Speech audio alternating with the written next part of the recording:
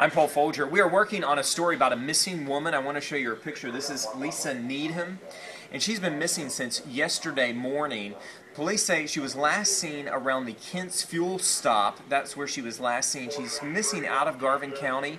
Police do believe that she could be hitchhiking. So if you see her going along the road, she's got brown hair and blue eyes, just 21 years old.